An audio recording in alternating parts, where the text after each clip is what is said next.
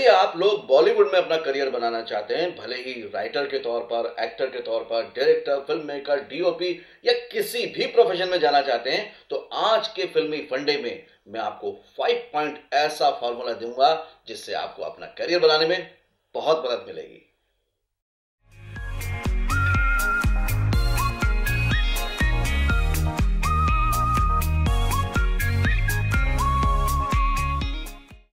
Hello friends welcome to फिल्मी फंडे join film dot com मैं हूँ आपका अपना वीरेंद्र राठौर।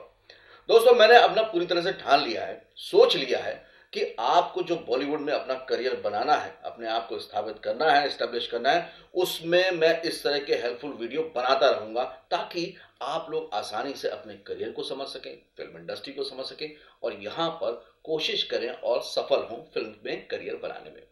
आज का जो टॉपिक है बहुत ही इंटरेस्टिंग है, लेकिन इससे आपको बहुत मदद मिलने वाली है। इस वीडियो को आखिर तक देखिएगा। आप बॉलीवुड के किसी भी प्रोफेशन में जाना चाहते हैं, बस इन पाँच पॉइंट को अच्छे से समझ लीजिए, जान लीजिए सेल्फ एनालाइज कर लीजिए और कोशिश शुरू कर दीजिए। फिर देखिए आपको एक एक चीज़ कैसे क्लियर होती चली जाएगी। तो ज़्यादा टाइम नहीं लेते हैं, लेकिन इतना समझ लीजिए। फ़िल्म मेकिंग जो है ना, वो एक कम्युनिकेशन का बिज़नेस है, क्योंकि ये टू वे है। अगर आप एक्टर हैं, राइटर हैं, डायरेक्टर कोई भी है तो आप अपनी बात कहीं ना कहीं ऑडियंस तक पहुंचाना चाहते हैं। लेकिन होता यह है कि हम कम्युनिकेशन बाहर के लोगों से तो करना चाहते हैं, पर खुद से ही नहीं कर पाते। और क्योंकि खुद से कम्युनिकेट नहीं कर पाते मतलब अपने आप से बात नहीं कर पाते तो ये समझ नहीं पाते कि एक्चुअली हम चाहते क्या है। नंबर वन पॉइंट आपको जो ध्यान रखना है, वो यही है कि आप पहले खुद से सवाल पूछिए कि आप एक्चुअली करना क्या चाहते हैं। थोड़ा सा अजीब लग रहा है? बिल्कुल। मेरे पास जितने भी लोग आते हैं, मैं उनसे पूछता हूँ क्या बनना चाहते हैं? तो बोलते हैं, मैं एक्टर बनना चाहता हूँ एक्चुअली मुझे सिंगिंग भी आती है, मैं राइटिंग भी कर लेता हूँ और मैं फ़िल्म भी बनाना चाहता हूँ। ज़्यादातर लोग इस तरह से वेग आते हैं, उनको क्लियर नहीं होता कि उनको क्या करना है। या ज़्यादातर लोग ये सोचते हैं कि अगर फ़िल्म इंडस्ट्री में जाना है तो सिर्फ़ एक्टर ही बना जा सकता है, क्योंकि उसी को रेस्पेक्ट मिलती है और सिर्फ़ शायद वही काम करता है। पर ऐसा नहीं है, ऐसा बिल्कुल भी नहीं है। सारे काम बहुत अच्छे हैं, सारे प्रोफेशन बहुत अच्छे हैं, सबकी रेस्पेक्ट बहुत अच्छी है और सब में अर्निंग अपॉर्चुनिटीज़ भी बहुत अच्छी अच्छी हैं। तो पहले मैं यही बोलूँगा कि पहला पॉइंट क्लियर कीजिए कि आपको क्या बनना है। सिर्फ़ इसलिए तो आप एक्टर नहीं बनना चाहते कि उसमें बड़ा ग्लैमर है, आपने देखा है कि उनकी बड़ी रिस्पेक्ट होती है फ़ैन फॉलोइंग होती है। अगर ऐसा है तो दोबारा सवाल कीजिए, क्या वाकई आप एक्टर बन के फ़िल्म इंडस्ट्री में जाना चाहते हैं? या आप चाहते हैं कि फ़िल्म इंडस्ट्री में एंटर हो जाए और अभी आप कुछ समझ नहीं पा रहे तो पहले उसको क्वेश्चन को क्लियर कीजिए कि आप क्या करना चाहते हैं। इसके लिए एक बहुत आसान तरीका भी बताता हूँ कि कैसे एनालाइज करें। आपको अगर लगता है कि आप एक्टिंग भी करते हैं राइटिंग भी करते हैं सिंगिंग भी करते हैं तो ये तीनों प्रोफेशन को या जो भी आपका प्रोफेशन है, उसको थोड़ा सा ना अपने आसपास लोगों को करके दिखाइए। अगर आप फ़िल्में करें तो कोई शॉर्ट फ़िल्म बना के दिखाइए। देखिए उनका रिएक्शन क्या आ रहा है, उससे आपको समझ में आ जाएगा हाँ यार, ये लोग मेरे इस काम को पसंद करें तो मतलब ये मेरा फोटे हो सकता है, ये वो प्रोफेशन हो सकता है जिसको मैं चलूँ तो नंबर वन याद रखिएगा बार बार कह रहा हूँ कि आपको आखिर करना क्या है, किस प्रोफेशन में जाना है, ये क्लियर कर लीजिए। नंबर टू है कि आप एनालाइज कीजिए कि आपकी कैपेबिलिटी क्या क्या है। मान लीजिए, आपने तय कर लिया है कि आपको एक्टर बनना है राइटर बनना है या फ़िल्म मेकर बनना है। तो as a that professional person आपकी कैपेबिलिटी क्या है? क्या आप वाकई एक्टर की तरह किसी के भी सामने बहुत अच्छे से एक्ट कर पाते हैं? या फिर सिर्फ़ अकेले में ही अभी तक आप एक्टिंग कर पाते हैं? आजकल एक और चीज़ है, कई लोग बोलते हैं कि ना सर, मैं मोबाइल पे एक्ट कर लेता हूँ बहुत अच्छे। देखिए, मोबाइल भी आपका अपना होता है, आप अपने कंफर्टेबल जोन में रहकर एक्ट करते हैं और मोबाइल से रिकॉर्ड कर लेते हैं। तो उसको मापदंड बहुत ज़्यादा मत मानिएगा। जब तक आप भीड़ के सामने या कुछ लोगों के सामने एक्ट नहीं करेंगे, तब तक ये क्लियर नहीं हो सकता। तो आप अपनी कैपेबिलिटी देखिएगा। एज एन एक्टर वाकई आप इतना जानते हैं एक्टिंग के बारे में? नहीं जानते हैं तो जानना शुरू कीजिए, सीखना शुरू कीजिए। बहुत से लोग हैं जो राइटर बनना चाहते हैं। उनको लगता है कि राइटिंग है तो मैंने बस कहानी लिख ली है, मैंने कहानी माइंड में सोच ली है तो मैं राइटर बन जाऊँगा। बिल्कुल भी नहीं। प्रोफेशनल राइटर एक्टर या कुछ भी प्रोफेशन में जाने में आपको प्रोफेशनली उसके लिए क्वालिफाइड होना पड़ेगा। क्वालिफाइड होने से मतलब ये नहीं कि कोई डिग्री कर लीजिए या कोई पढ़ाई कर लीजिए, लेकिन उसके बेसिक तो सीखिए। अगर आपको राइटर बनना है तो आपको मालूम होना चाहिए कि स्क्रीन प्ले डायलॉग करेक्टराइजेशन ये सब कैसे लिखा जाता है वन लाइनर कैसे लिखा जाता है। अगर आपको फ़िल्म मेकर बनना है तो आपको मालूम होना चाहिए कि कैसे बजट बनाया जाता है, कैसे शेड्यूल बनाया जाता है, किस तरह से लोकेशन फाइंड आउट की जाती है। तो ये सब मालूम होना चाहिए। अगर नहीं मालूम है, आपको लगता है मैं अभी कैपेबल नहीं हूँ तो कोई बात नहीं। यहाँ से आपको पता करना शुरू करना है, यहाँ से आपको सीखना शुरू करना है। जैसे ही आप एनालाइज कर लेंगे कि अभी मेरा लेवल क्या है तो आप ये तय कर पाएँगे आपको अचीव क्या क्या करना है, अगर इस प्रोफेशन में प्रोफेशनली जाना है तो। तो नंबर वन आपने देख लिया कि क्या बनना चाहते हैं। नंबर टू ये हो गया कैपेबिलिटी को एनालाइज कर लिया। नंबर थ्री ये है और बहुत ही इंपॉर्टेंट है कि आप वो कैसे बनेंगे। भाई कैपेबल भी आप हैं, आपने तय भी कर लिया, लेकिन बनेंगे कैसे? अब अगर मान लीजिए वो प्रोफेशनली आप हिंदी फ़िल्म इंडस्ट्री में काम करना चाहते हैं तो आपको उसके लिए मुंबई आना पड़ेगा।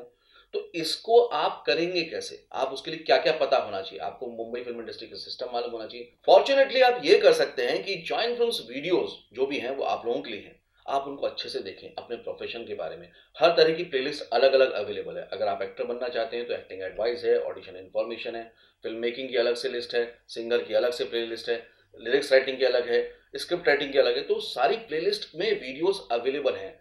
मैंने और बहुत सारे सेलिब्रिटीज़ ने अपने वीडियोस शेयर किए हैं एक्सपीरियंस शेयर किए हैं। तो जो भी प्रोफेशन में आप जाना चाहते हैं, पहले उसको अच्छे से देख के समझिए, अपने शहर में रहते हुए ही।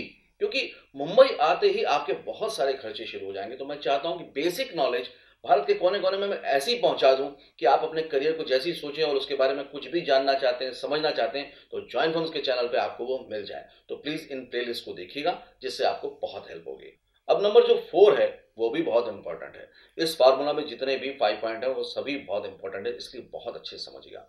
नंबर फोर ये है कि आप अब इस रास्ते को बनाएँगे कैसे? कैसे अचीव करेंगे, कैसे बन जाएँगे।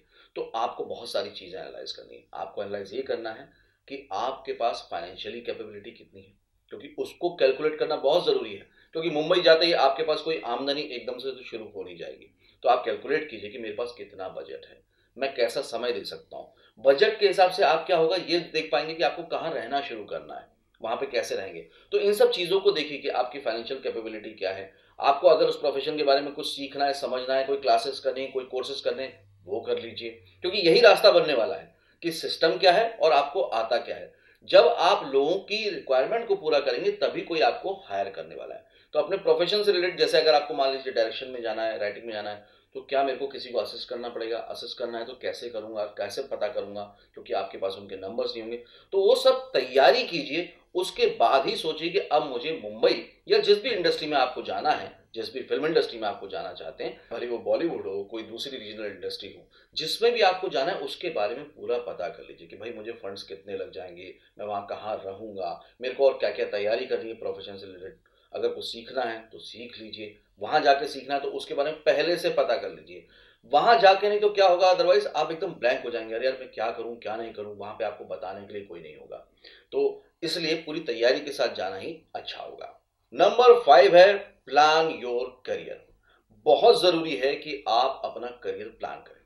और इसको समझना भी बहुत आसान है। देखिए, आप किसी भी और करियर में जाते हैं, मान लीजिए आप एमबीए कर रहे हैं या फिर आप इंजीनियरिंग कर रहे हैं तो आपको मालूम होता है मुझे चार साल, पाँच साल पढ़ाई करनी है।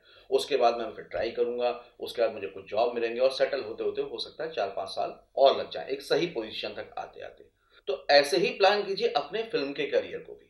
आप अगर राइटर बने फ़िल्म मेकर बने या फिर एक्टर बने, कुछ भी, आप जब यहाँ पर आएँगे, थोड़ा समय लगेगा आपको समझने के लिए लोग कैसे हैं, कहाँ पे काम होता है, ये सब जानेंगे, थोड़ा टाइम लगेगा। अगर आप प्लान नहीं करेंगे तो होगा क्या कि आपको लगेगा, अरे यार, मैं तो अभी आया हूँ, मुझे अभी काम मिल जाना चाहिए। काम नहीं मिलेगा तो आप बड़े डिसअपॉइंटेड होंगे, आपको बुरा लगेगा फ्रस्ट्रेशन आएगा, वो नहीं होना चाहिए। टाइम तो लगेगा और टाइम आपको देना भी चाहिए। ऐसा भी मत सोचें कि, अरे यार, दो साल निकल गए, नहीं हुआ तो कोई बात नहीं, मैं तो और दो साल दे दूँगा। फ़ौरन अपने आप को एनालाइज कीजिए। मुझे एक साल हो गया फ़िल्म इंडस्ट्री में आए हुए। मुझे काम क्यों नहीं मिल रहा है? क्या कमी है मुझमें? उस पर रोज काम करना शुरू कीजिए। नहीं तो होगा क्या, चार पाँच साल निकल जाएँगे, फिर आपको समझ में नहीं आएगा, फिर आप सोचेंगे, नहीं इंडस्ट्री खराब है। इंडस्ट्री का अपना बना बनाया प्रोसेस है, वो वैसे ही काम करेगी। वो बेस्ट बंदे को बेस्ट टैलेंट के लिए बेस्ट टाइम पे बेस्ट अपॉर्चुनिटी देगी। लेकिन उसके लिए आपको हमेशा तैयार खड़ा होना पड़ेगा। तो अगर ज़्यादा समय निकल रहा हो, या जो लोग वीडियो देख रहे हैं, भाई देवन को काफ़ी टाइम हो गया है आए हुए तो प्लीज़ कैलकुलेट करें कि आप जो कोशिश कर रहे हैं, उसमें कमी कहाँ रह रही क्या चीज़ छूट रही है? या तो आप सही समय पर सही जगह नहीं जा रहे या आपका तरीका गलत है, या आपको लगता है कि आप प्रोफेशनली बिल्कुल वेल इक्विप्ड हैं, लेकिन अभी आपके टैलेंट में कुछ तराशना बाकी है, कुछ पॉलिश करना बाकी है तो प्लीज़ अपने आप को एनालाइज कीजिए। ये वो पाँच पॉइंट थे जिनको अगर आपने सही से स्मार्टली अपने करियर के लिए समझा तो आप बहुत अच्छे से, आसानी से आगे बढ़ सकते हैं। देखिए, मेरा पर्पस यही है जॉइंट फिल्म्स का पर्पस यही है कि आप लोगों को हम लोग अवेयर करें मोटिवेट करें गाइड करें, आपको सिखाएँ, समझाएँ कि इंडस्ट्री वर्क कैसे करती है, ताकि आपका समय कम से कम लगे और आपको अपॉर्चुनिटीज़ ज़्यादा से ज़्यादा मिले। आप लोग जिस तरह से वीडियोस को पसंद कर रहे हैं शेयर कर रहे हैं, उसके लिए मैं जितना भी आपको थैंक्स कहूँ, उतना कम है। लेकिन प्लीज़ अपनी इस ज़िम्मेदारी को और ज़िम्मेदारी से निभाइए। इन वीडियोस को बहुत शेयर कीजिए। अगर आप लाइक करेंगे तो मेरा हौसला बढ़ेगा, मुझे अच्छा लगेगा कि ठीक है, आपको मेरा काम पसंद आ रहा है, वीडियोस पसंद आ रहे हैं। तो आखिर में एक बात बस याद रखिएगा कभी भी अपने ईगो को इतना आगे मत बढ़ाइएगा कि अरे यार, मुझे काम नहीं मिला तो लोग क्या कहेंगे या मुझे काम मिलना ही चाहिए। ये सब निरंतर अगर आप कोशिश करते रहेंगे तो आपको काम ज़रूर मिलेगा। कोई भी दिक्कत है, कोई भी परेशानी है ज्वाइन फ़िल्म आपके साथ हमेशा है। आप कमेंट बॉक्स में मुझे ज़रूर बताएँ कि आप क्या बनना चाहते हैं, आप किस प्रोफेशन में जाना चाहते हैं और उसके लिए आपकी तैयारी क्या क्या है और आप क्या क्या तैयारी करना चाहते हैं। मुझे कमेंट बॉक्स में बताइएगा, जिसको जो क्वेश्चन पूछना हो, वो भी पूछ लें, क्योंकि आप लोग जानते हैं कि हर कमेंट का आंसर मैं पर्सनली देता हूँ। कभी कभी थोड़ी सी देर हो जाती है, लेकिन मैं पर्सनली आंसर ज़रूर करता हूँ। तो अंत में यही कहूँगा कि देखते रहिए, सीखते रहिए, जमे रहिए ऑल द वेरी बेस्ट